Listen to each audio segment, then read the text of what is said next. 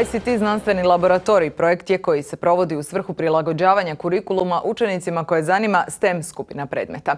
Priča je započela u listopadu prošle godine. Provode je privatna gimnazija Gaudamus iz Osijeka i Pitagora iz Splita u suradnji s Filozofskim fakultetom u Osijeku. Cilj je do 2020. sadašnjih 17% učenika koji se odlučuju za daljnje školovanje u STEM području povećati na 25 do 30%. Tijekom osam mjeseci provođenja projekta ICT znanstveni laboratorij postigla su se tri cilja. Edukacija nastavnika koji predaju STEM skupinu predmeta, razvoj četiri nova kurikuluma za izbornu nastavu i panel rasprava koja bi trebala donijeti zaključke kako potaknuti još veći broj djece da se uključe u spomenutu skupinu predmeta. Današnja djeca koja idu u srednju školu su nešto što se u znanosti zove digital natives. E, njima je bila tehnologija dostupna od trenutka njihovog rođenja i oni je u većini slučajeva znaju puno bolje koristiti nego što to znaju njihovi roditelji.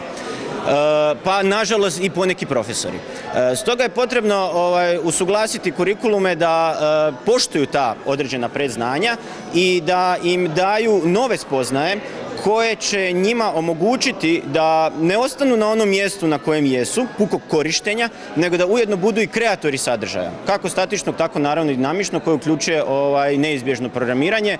Pomalo zastarjeli i nužno će se mijenjati upravo u svrhu ostvarivanja ciljeva koje si je postavila ova radna skupina, a svrha je povećavanje izlaznosti učenika u smjeru ICT-a koji trenutno iznosi samo 17%. Pod utjecajem ovog projekta mi smatramo da možemo postići, odnosno podići taj rezultat na preko 25, odnosno ciljati na nekih 30% učenika.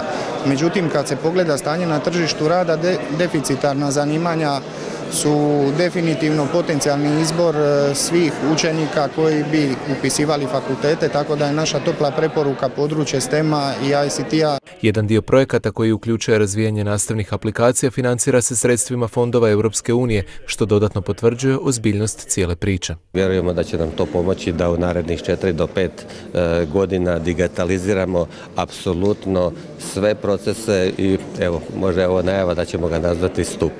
IT podrška ovog projekta povjerena je privatnoj tvrtki iz Osijeka u kojoj će neki od budućih informatičkih stručnjaka iz ovih gimnazija jednog dana možda i započeti svoju karijeru. Ove mlade ljude treba motivirati da nije sve tako crno e, u Hrvatskoj pa zatim i u našoj Slavoniji i da ima i više nego dovoljno razloga za ostati, raditi, djelovati tu u području u kojem je IT da li osnovna djelatnost, ali svakako u svakom slučaju i nekakva mm, potporna djelatnost za bilo koju struku u kojom se bavite. Potporu nastojanju da se obrazovanje digne na višu razinu daju i gradske strukture, a zamjenik osječkog gradonačelnika Denis Ambruš posebno pozdravlja povlačenje sredstava iz fondova Europske unije. Jedan zaista poticajni projekt, pogotovo kad znamo njegovu vrijednost e, u iznosu skoro milijun kuna i sve u tome što mladi mogu e, približni standard iz Europske unije prenijeti i u naše ovdje odgojne odgojne ustanove kao što su gimnazije, jer bez tog standarda teško će konkurirati u buduće na tržištu rada. Projekt provode zajedničkim snagama privatne gimnazije Gaudamus iz Osijeka i Pitagora iz Splita te Filozofski fakultet u Osijeku.